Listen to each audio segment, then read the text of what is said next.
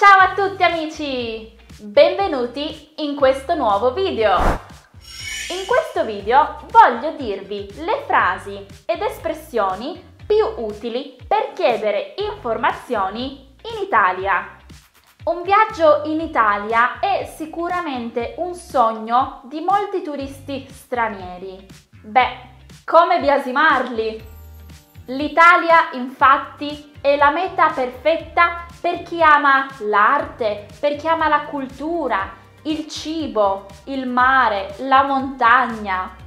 Ma spesso gli stranieri si scontrano con le difficoltà della lingua ed è utile perciò conoscere alcune frasi che vi possono aiutare in caso di necessità, ad esempio se dovete chiedere informazioni. Quindi, se ti interessa questo argomento oppure se hai pianificato un viaggio in Italia, guarda il video fino alla fine. Io sono Giulia e se sei nuovo su Piazza Square iscriviti ora per non perdere nessun video sull'italiano e sull'Italia. Molto probabilmente, se dovete fare un viaggio in Italia, la prima tappa è l'aeroporto. Sicuramente il personale di tutti gli aeroporti italiani conosce bene l'inglese e anche altre lingue, ma può sempre essere utile imparare le frasi principali in caso di necessità.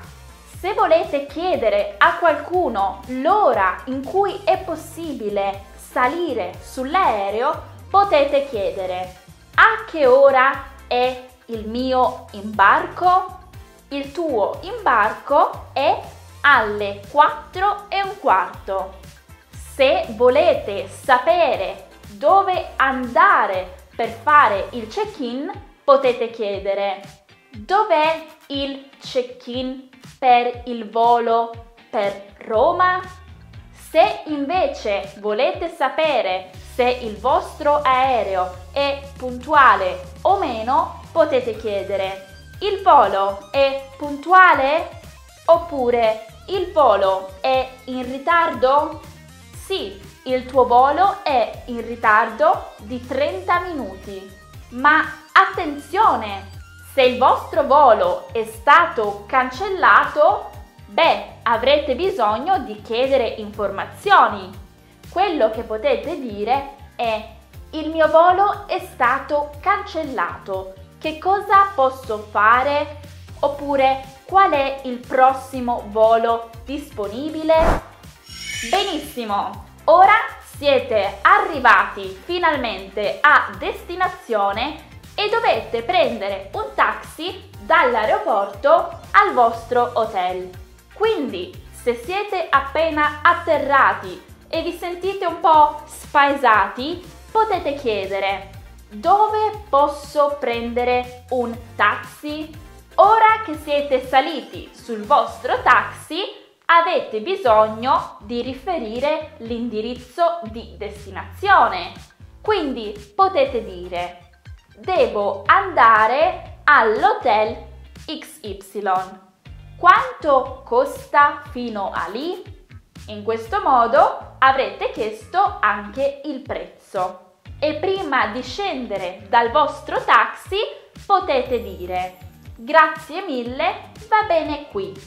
Quanto le devo? Che significa quanti soldi le devo dare in modo formale. Ma non dimenticatevi, uno dei motivi principali per cui siete arrivati qui in Italia è sicuramente il cibo. Quindi subito una tappa al ristorante.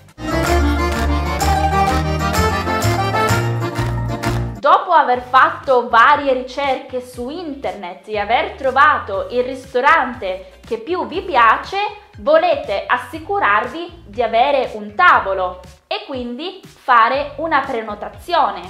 Di conseguenza chiamerete il ristorante e potrete dire Buongiorno, è possibile prenotare un tavolo per 4 questa sera alle 8?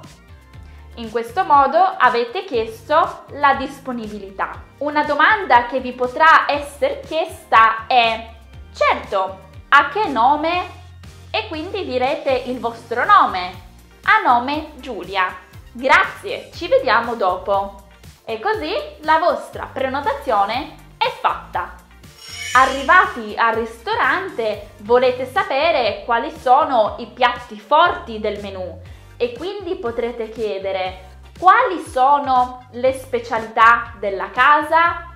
In questo modo chiederete al cameriere un consiglio sulle specialità locali.